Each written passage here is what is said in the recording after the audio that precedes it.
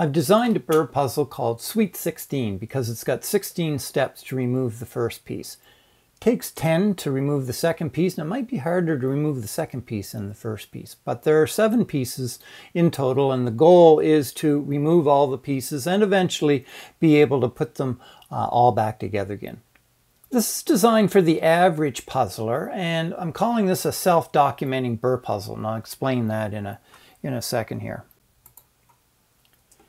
It's quite common for people to take these puzzles and take them apart and not be able to put them back together again. There's quite a few different combinations of all the parts. Here are the seven parts. The three plates can be in any one of four different positions. That means the plates could be in 64 different combinations. Each of those green pieces can be rotated four times or put end over end. So you've got eight different positions for each of the green pieces. That gives over 3,000 different combinations that they can be in. So it can be quite challenging to put these together. So for many puzzles that uh, I build that are, are, from the public domain or that I've designed, I try to make them self-documenting if they're designed as take-apart puzzles or disassembly puzzles. And I'll show you how I've done that here.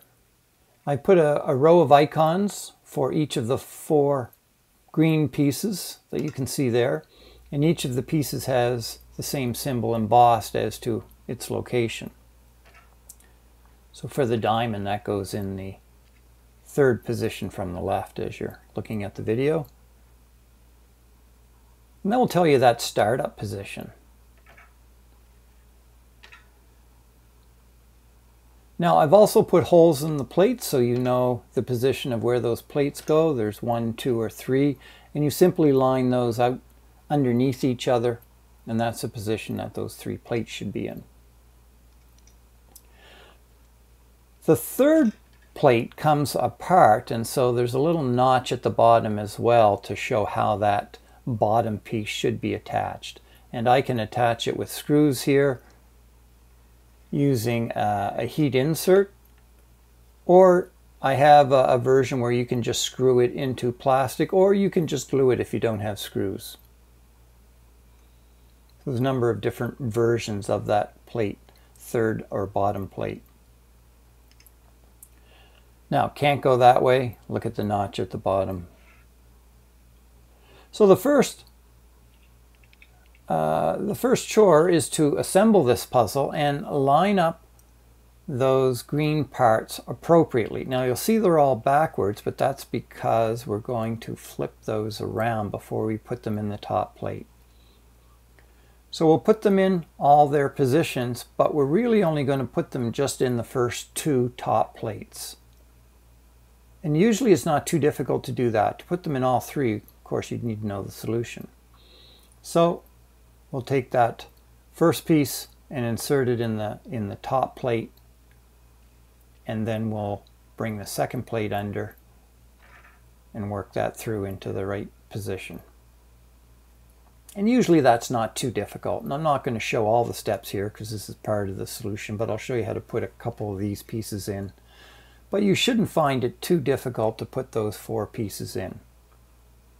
You might have to manipulate the plates a little, shift them left and right. But this is not going to give you the overall solution. So we're going to put those two pieces in and eventually you're going to be able to put in all four of those pieces in those top two. Might take a little while, but it's not too tough. Because that third plate is a two-part plate, you can then just put that around the bottom in the proper position. You don't have to work it in. And you can screw that in or glue it in. If you glue it in, of course, you've only got one shot at it. The screws are nice because it generally takes four or five times to take it apart before you learn the puzzle and can put it together yourself. That's the Sweet 16 puzzle. You can build your own using the link in the description which has all the STL files that you'll need.